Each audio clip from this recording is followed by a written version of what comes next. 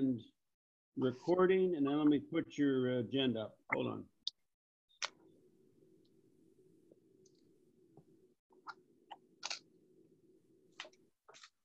There you go. Thank you so much. Uh, thank you everyone for uh, calling in.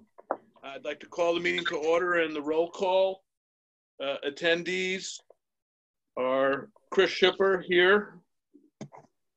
Uh, Cam, Here. Linda, Here. got it. And um, I think Marty will try to join us, but he's not on at the moment, nor is Susan Schweitzer. But we have three of us here, so the meeting can be called to order. Uh, First order of business is to approve the minutes of May 14th, which are a, uh, I think you've had a chance to look at them. They are a subset of our agenda uh, with uh, bullet points filled in. Uh, Can I get a uh, motion? I move to approve the uh, minutes of May 14th. Second. Uh, Cam, you want a second? Yep. Sec. Uh, sorry. Second. Okay, minutes approved. Thank you. All right. Um, first item on the agenda relates to sustainable New Canaan. And uh, Robin has shared with me a few uh, updates on it, but I'd love to hear more and find out um, uh, from Robin how how we can help and how things are progressing. Hi. All right, great. Can you hear me? Yes. Yes. Okay, great. Hi, everyone. Um, so we did have a couple weeks ago our first sustainable uh, team meeting. Um, and then I did meet with uh, some of the sustainable Connecticut coaches and went over what we need to do. So I will be um, arranging our next meeting where we'll start, um, sorry. Sorry. Um, Feral cat collection. Always when I'm about to do something. Um, so we'll, uh, I know. Uh, so we'll, uh, I'll arrange our next meeting when we're going to start compiling all the um, information we have now to try to get to that 200 point mark to get to the um, bronze um, certification. So the only updates for Sustainable Connecticut we have right now is we, there is a CPACE program on this Monday, June 15th, uh, 11 a.m. at the library. It's a Zoom meeting. It's with Nicholas Zumba of Connecticut Green Bank. Uh, Town Council did pass the resolution for um, the CPACE program. Sorry, she's back. Um, in 2014, but it's never been used. Um, so Nicholas is coming from Connecticut uh, Green Bank to go over what it's about. So we've reached out to nonprofits and businesses in the area, and the library, of course, has their 9,000 or 10,000 email address. So that will go towards our Sustainable Connecticut application. One that the resolution was passed in 2014, but also that we're doing a program for it. Um, oh, the next is we are having a program with the town on Monday, June 29th, which is called Reducing and Recycling During the Pandemic. It will be with uh, Tiger Mann, Mark O'Brien of Oak Ridge Waste and Recycling, which is our new contract in town, as well as Jennifer Heaton Jones, Executive Director of Housatonic Resources Recovery Authority. Um, so what I would like to bring up is there are a few other programs we could be doing for our Sustainable Connecticut and wondering if the Conservation Commission uh, would possibly be willing, um, as these programs would be for, sorry, um, our uh, certification is, um, uh, sorry, um, go.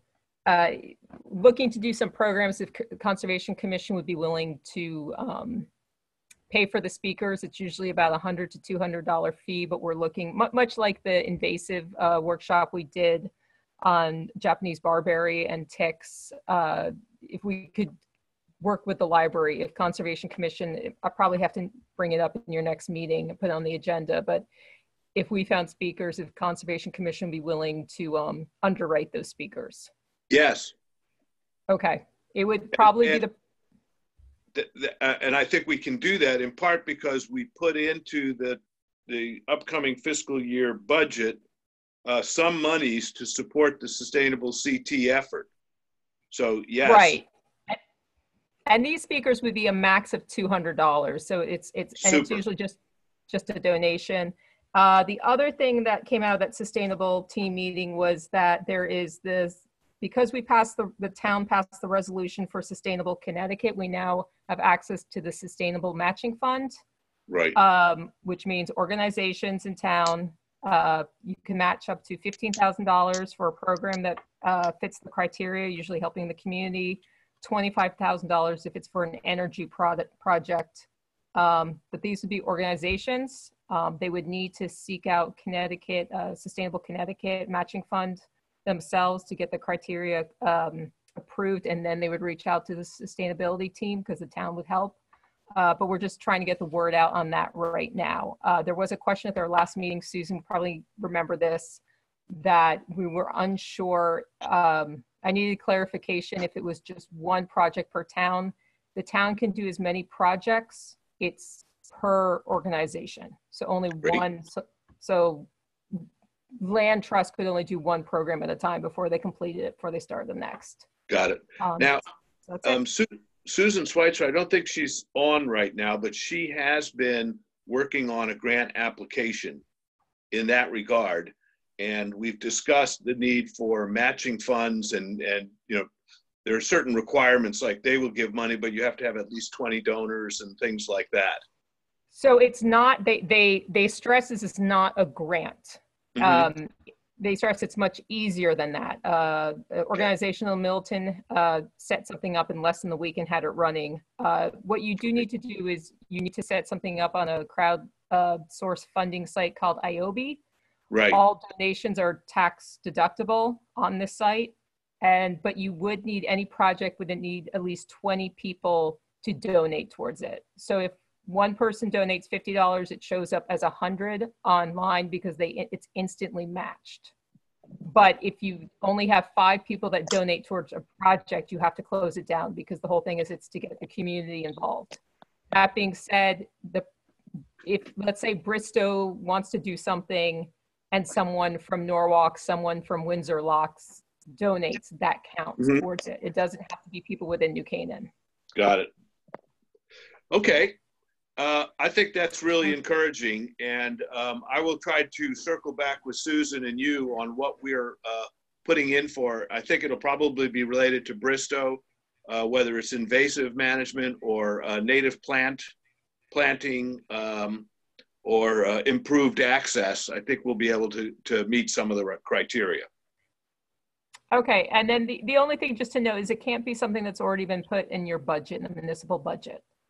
So if you want to do fencing that's been already put in the budget, you, you couldn't then take it out and put it and do a matching, gr- uh, matching fund. Right, that, that, that, that works, and that makes sense, because we've, we've asked the town to do kind of like, uh, infrastructure on the park, but the soft work, like invasives or planting or, or birding, uh, activities, um, uh, uh, could work, so, Right, So- okay. all right. Um, quick question on pollinator pathway. Um, the, the, the lead for that activity is, is, um, not clear to me. Um, whether it's a, a community project that anyone can jump into, or is there a community organization that really wants to drive it? Because I know we did a collective effort, but I don't know where the local leadership lies. So it was originally the local leadership. Um, I can get in touch. It's Mark Fowler at Grace Farms. He was the one that put it together. Um, some organizations have just put stuff together, but there's there's not a cohesive. Um, pre- uh, pretty much, I think it's Aaron Leafland that you would contact if you want to be part of it, because he's the one maintaining the map. Right.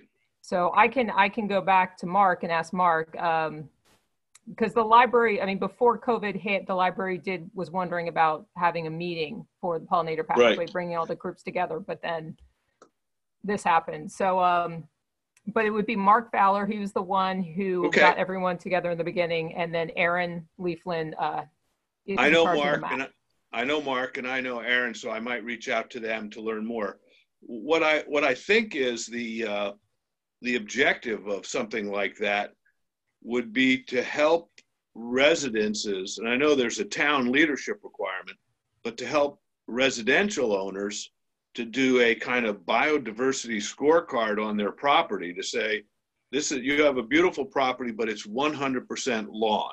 So it has like a biodiversity score of, you know, zero or 10. Whereas if you had some uh, uh, water features or some varied plantings and things like that, you could reach, you know, higher levels. I'm, I'm just wondering, um, that seems to me where the pollinator pathway would get a breakthrough, which is that uh, homes that participate and are rated as high biodiversity or medium or low, and and our homes that are at low trying to make it to medium or move up, is like a scoring or measurement system that would support uh, uh, greater efforts at native plants and biodiversity and, and, pollinator plants, which is the goal. Right. I can check with uh, Louise Washer is one of the founders of the pollinator Yes. pathway movement. She's in Norwalk. She'll have she'll have some information on what they're on what they're doing in other communities too. If there's like a scoring. Okay. chart. That that might be something we can um, uh, uh, we can kind of push on as as as once we get the Bristow project rolling, we have a little more bandwidth to take on some uh, additional project areas. So uh, that's good. Um, I'm sorry, I, I, I didn't know. Uh, Linda or Cam, did you have some comments? Oh, sounds good to me. No, I think, Okay. um, yeah, it's great. All right. Um, just a quick update on uh, New Canaan uh, uh, river water testing. Um, right now, uh, uh, Harbor Watch is in doing uh, Noroton, Rippowam, and Silvermine. They are not currently testing Five Mile, uh, but the town is testing Five Mile. But we're hopeful that next year uh, Harbor Watch will test all four. And um, two points. One is the, the Conservation Commission uh, made a contribution to the river testing of 2,500, and the Community Foundation made a contribution of 6,000. So uh, the town of New Canaan is supporting this, and, and our goal on the commission is to get the data and put it into a form that can explain to our citizenship the importance of uh, good river management and good uh, property management when you adjoin rivers. So um, I'm hopeful that we'll be able to develop a story there that we can share, and that might make people who live along streams or rivers a little more sensitive about what their landscapers do and how they manage their properties. Again, uh, it's a, an area to explore. Any comments regarding that? No. Okay. Um, solar power, I'm, I know it's in, uh, and I haven't gotten any reports yet about how many kilowatt hours or how effective it's been. Obviously, we're moving into summertime where it becomes even more effective. But um, I I need to figure out how to uh, create a channel to Mark where we get information on how many feet of installed uh, uh, solar have we put in place and how much is that generating uh, uh, for us and saving us. So uh, sometimes we do these, we launch these projects, but we never share the information more broadly so that the town itself becomes more aware of solar as an option. So I, I simply bring that up as a to do, and I, I, I keep it on the agenda more like a reminder that we need to tell that story more effectively, and, and we're not doing it yet. Chris, can I just ask a question? Sure. Um, is that for, is the solar installations you're referring to, are those town installations, commercial, residential? Those are the those are the five town installations that are uh, being put that are I think almost complete now. Right, yeah, you should be able to, get. I mean, I'm pretty sure they're aware of those numbers, so, Right, and that's what I'm trying to say is, is it's sort of like they're there and they're sort of not out in the open. And I'd like to generate some public awareness about that because it's it's a little bit like we're hiding ourselves down a well on having done this great work at putting in more solar and yet not not telling the story. Right, and these numbers are knowable. They are The known. Nature Center was going to host some programs with Mark. Um, you know, the relative to uh, the animal care building. Mhm. But I don't, you know, I think we still plan to. It's just difficult to know how to plan right now, how to Okay.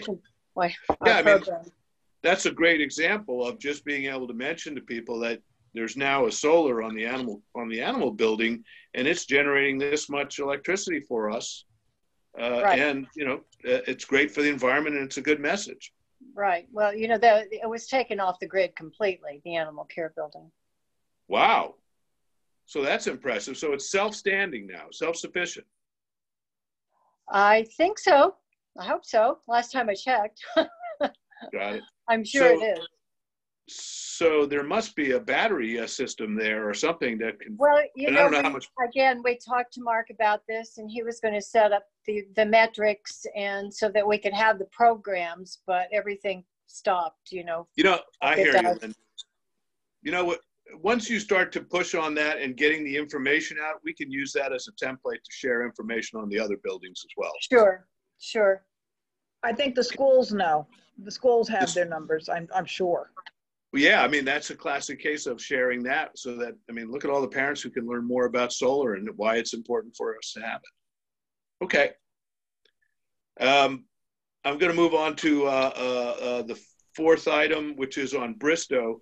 I want to just make this a very quick update for everybody on where things stand. Um, the uh, Board of Finance has put it through. I think the Board of Selectmen review it this week from the capital budget, and then the town council uh, votes on the final uh, bonding uh, on the 17th. So the, the program has remained intact, and uh, Tiger um, has kept it at the top of his list of priorities. And uh, I'm very hopeful that that will will go through, and that we will be able to begin the new fiscal year uh, with a bid package to get that first phase uh, underway. Um, Tom, and I don't, sorry to jump in. Yes, Tom, I don't have the agenda in front of me, different computer. Um, Is it on the agenda for the 17th? Yes, it is. Okay, thank you. You do. It's, I think it's bundled into a couple other items as a total uh, funding, uh, but it's on. Um, uh, just on point B, we were going to get some uh, trees and ferns planted uh, through the Church of Latter-day Saints. They've postponed it and we'll come back again in September. Uh, the good news also is on May 18th, the Inland Wetlands Commission approved the master plan. Sorry, did someone want to make a comment? All right, I'll continue. Uh, The Inland Wetlands Commission approved the master plan with few uh, easily met conditions, uh, which was great.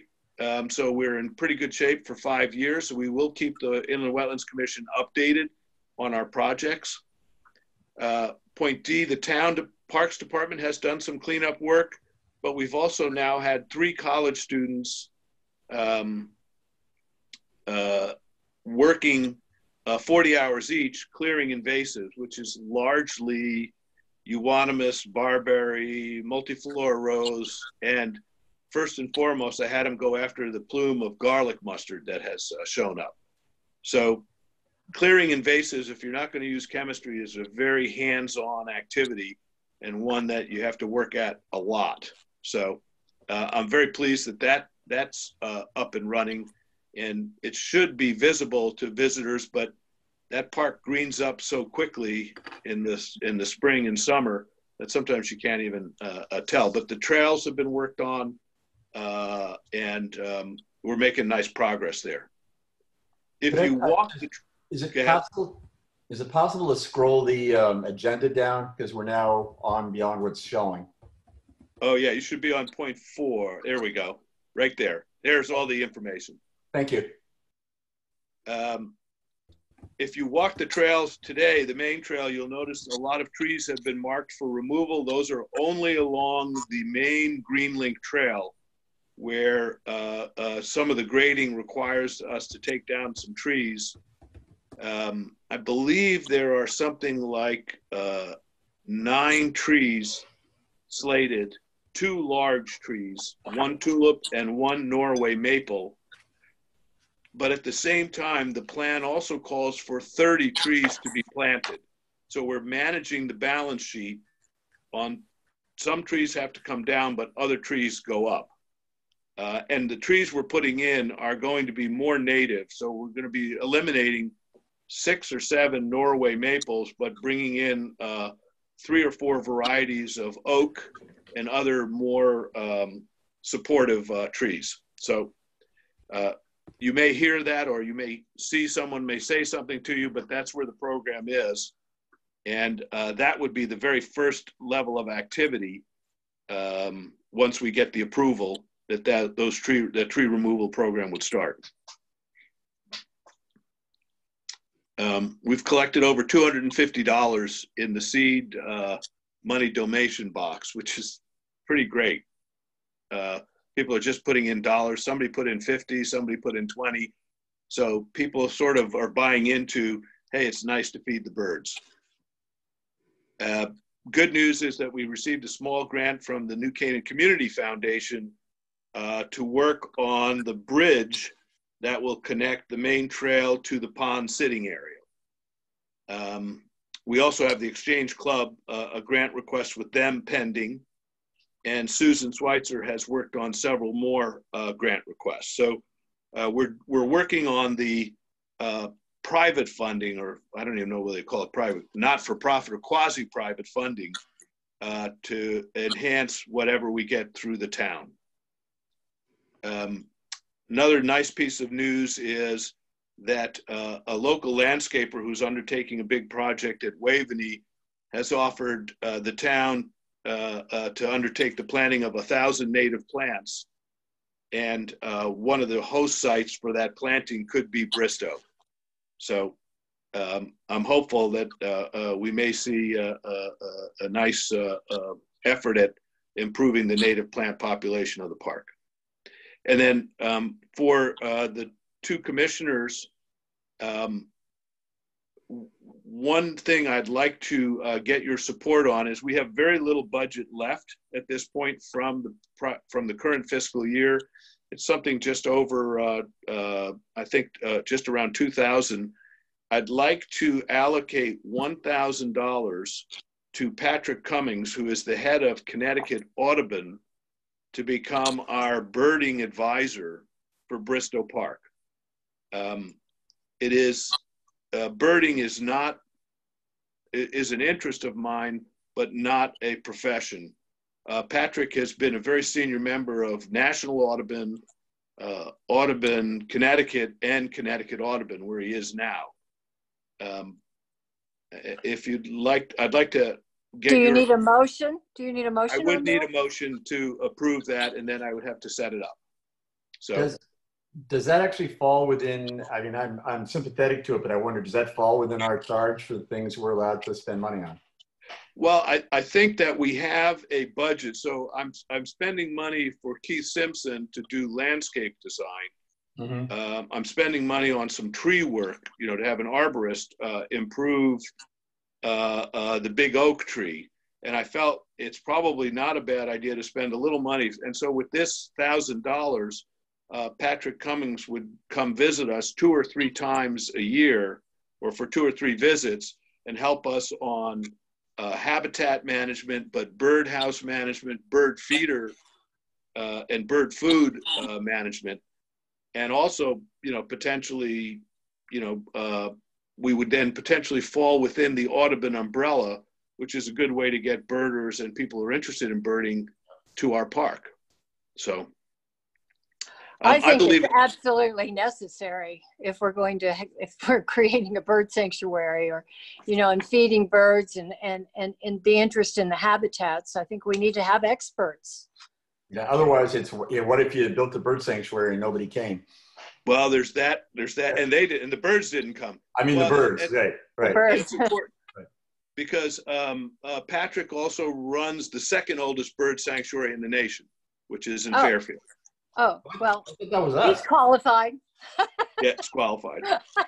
So with your, uh, uh, uh, so can I get a motion to um, allocate a thousand dollars to uh, Audubon, Connecticut Audubon and Mr. Patrick Comins to act as the Bristow Audubon advisor? So moved. I second. All in favor? Aye. Aye. Thank you. Can I Uh, jump in again? Yes, Um, when Patrick comes to uh, to visit and you know give us an initial audit kind of thing, Mhm. um, can you make that so that some of us can uh, show up too? Because be very interested to hear what he has to say and uh, get a little education. absolutely. It's a deal. And I think I'll make it a, an announcement that, you know, he probably will take a walking tour and it would be great to have a couple of people walking alongside him or, you know, at distance to do it. So absolutely, Sven. Thank you. and I'm sure he'd be happy to do it. Um, and this uh, um, that completes uh, any points on Bristow. I don't know if anyone else has any questions or comments. I do appreciate having three uh, town council members on the call and hearing the story. I want to assure you we're in good shape, and I also believe very strongly that once this first round is approved, um, several foundations will will see that the town is is serious about doing this, and they will also step up and support what we're doing.